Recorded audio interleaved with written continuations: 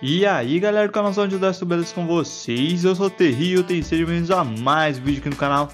Bem galera, estou trazendo para vocês aqui o repórter nosso torneio edição número 57 Foi torneio de domingo, valendo cartas CCG e OCG na plataforma Yu-Gi-Oh! Pro.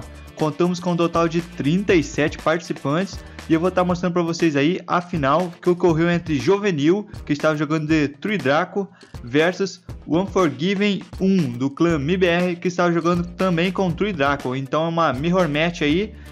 Peço aí já para que deixe seu like no vídeo, também para que se inscreva no canal. E sem mais delongas, vamos para final. Pode rodar aí.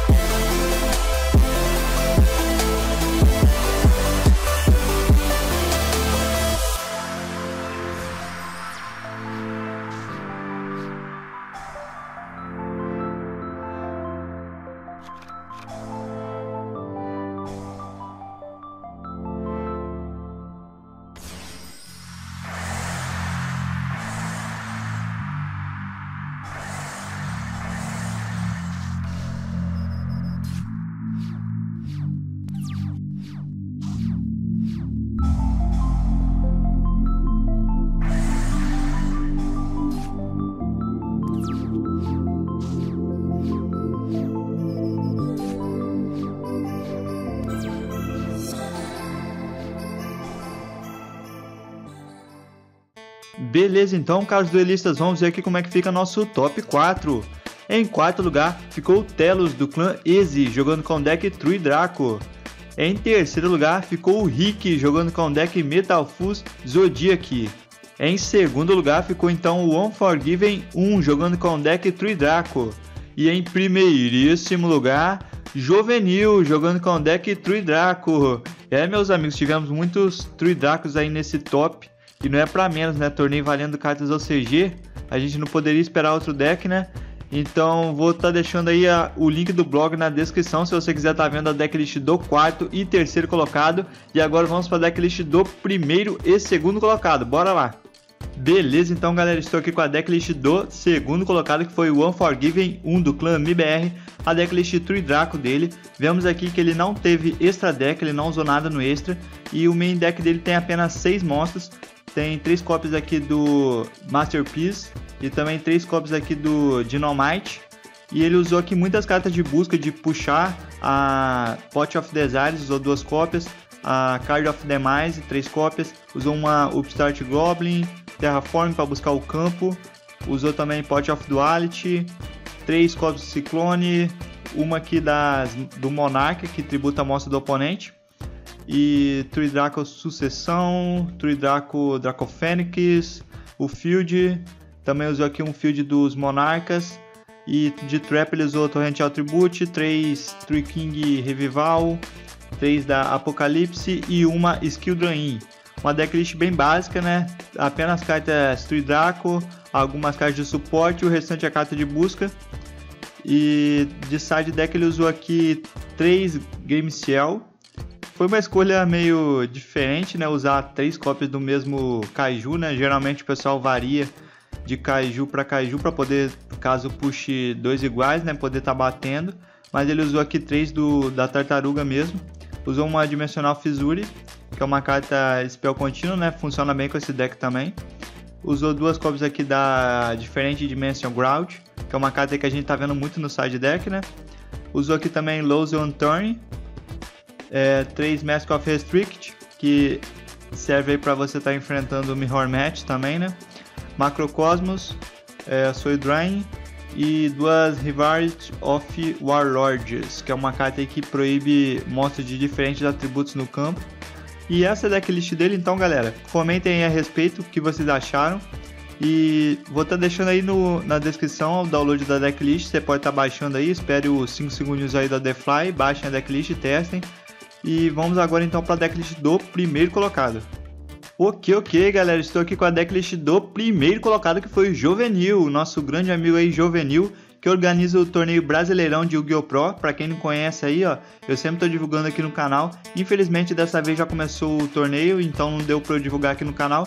Mas voltando aqui a decklist, então galera, ele usou aqui três cópias do Masterpiece, duas apenas do Dynamite e usou aqui uma cópia do Ignish Hit, o Draco Warrior e também o Draco Mage, usou uma cópia de cada. E também usou aqui de diferente o Requilimbro. É o Kuribo que você, se tributado, você puxa uma carta e se ele está no seu cemitério e um monstro seu seria destruído por batalha, você pode estar tá banindo o Kuribo no lugar. Então é, ele tem uma certa utilidade, é, é, interessante o uso dele. E ele usou aqui uma hijack, o restante que carta de busca, Cosmo Ciclone. Usou duas cópias aqui de uma carta que o que o War Forgiven não usou, que foi a March of Monarchs que é uma carta aí que monstros tributados, monstros que foram invocados por tributo não pode ser alvo por efeitos e nem destruídos. E também usou duas aqui da Sucessão, duas da Draco Phoenix, o Field, usou uma cópia aqui da Quack Mirror Force, que ele chegou até a usar aí na final, vocês viram aí. E duas cópias aqui da Revival, usou aqui três cópias dessa carta aqui da, dos Monarchs também, que eu não conhecia até então, ah, o efeito dela é que você só pode ativar se você não tem cartas no seu extra deck e você tem que controlar um monstro que foi invocado por tributo. Você vai estar tá negando aí todos os efeitos dos monstros virados para cima no campo, exceto dos monstros invocados por tributo. E se você não controla nenhum monstro que foi invocado por tributo, você vai ter que enviar essa carta para o cemitério. Então ela é quase que uma skill drain e ela só não interfere aí nos seus monstros tributo. E ele também usou aqui três cópias da Apocalipse e uma Skill Drain. E o side deck dele aqui, né? Ele usou extra, né? O side deck dele duas Ghost Ash, uma Maxi, duas Team Twister, uma Drone Mirror Force, duas Light Impressioning Mirror, três One Spell Fragrance, duas Shadow Impressioning Mirror e duas Solen Strike. Beleza, essa decklist dele, galera. Vou estar tá deixando aí na descrição também, você pode estar tá baixando aí. Digam aí nos comentários o que vocês acharam da decklist. E caso tenha alguma dúvida aí sobre os torneios que a gente organiza no Yu-Gi-Oh! Pro, saibam que é todo domingo às 19 horas, valendo TCG e OCG, e aos sábados às 21 horas, valendo apenas TCG.